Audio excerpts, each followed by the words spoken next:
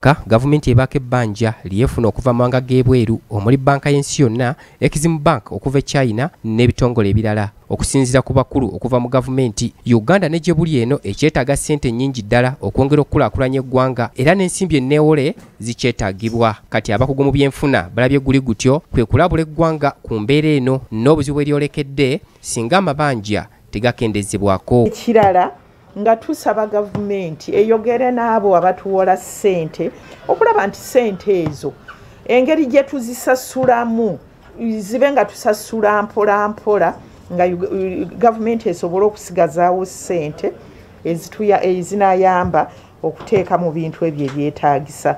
Jeni nalunga akulira ekibiina ekirondoola ebyenfuna by'eggwanga siatin agamba nti ekizibu ky'eggwanga si butaba na ssente zimala wabula enkwata yaazo yekyetaaga okutunulwamu. Buli yake bukendeere um, n'okudiibuuda n'okudiibuuda. Tulabe nti sente kubanga akasente ke tulina katono tulabe nti akasente we tukateeka kayamba buli munnayuganda ave mu bwavu. Nalunga ng'ali wamu n'abakugu abalala okuva mu bitongole ebyenjawulo bagamba gavumenti erina okukyusa mu ngereka y'omusolo era ebintu ebikozesebwa mu bulamu obwa bulijjo birina okugibwako omusolo. Tekweka misolo mu bintu ebikozesebwa.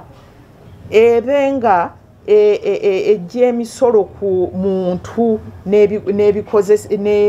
omuntu sente zaafuna kakati ngaolaba payers yuan bwofuna omusaala sente batemako kuzoofunyi naye kati bw'oteeka sente mu mafuta buli omu asasula kyekimu bano bagamba nti n'enkola ey'okulaakulanya abantu ku miruka eya parish development model yakuyamba kitono nnyo okukyusa obulamu bw'abannansi kubanga terimu bwenkanya. Tulaba nti mu nsaasanya y'essente zino tewali bwenkanya. Tulaba ebitundu for example nkira kulaga ebitundu nga waliwo parish mu ajumani gye bayita abyaworo erina abantu almost 892 bokka.